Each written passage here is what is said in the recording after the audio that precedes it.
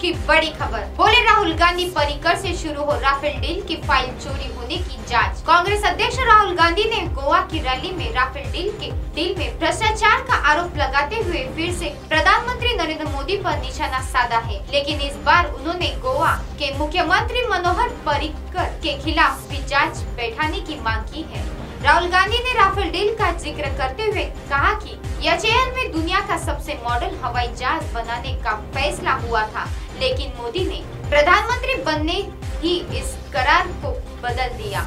उन्होंने कहा कि तत्कालीन रक्षा मंत्री परिकर ने दुनिया को बताया कि उन्हें नए करार के बारे में कुछ नहीं पता है। और राहुल गांधी ने प्रधानमंत्री पर करार में दखल देने का आरोप लगाया है। गोवा की रैली में राहुल गांधी ने कहा कि सरकार ने सुप्रीम कोर्ट में राफेल की फाइलें गायब होने की बात कही है। जिन फाइलों में लिखा है कि नरेंद्र मोदी ने राफेल हवाई जहाज़ का दाम बढ़ाया और राफेल की फाइलें उसी तरह से गायब हो गई, जैसे गोवा में सरकार गायब हो गई है। उन्होंने कहा कि राफेल डील की जाँच परिकर से शुरू होनी चाहिए।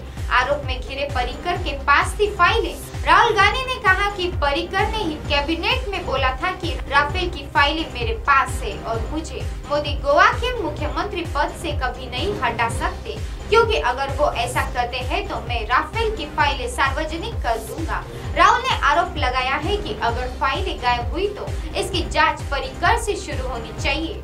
तो खबरों में आज के लिए इतना ही। एम एन न्यूज़ लाइव की खबर देखने के लिए हिंदी ऐप आज ही प्ले स्टोर से डाउनलोड करें और हमारे चैनल को लाइक सब्सक्राइब शेयर करना बिल्कुल भी ना भूलें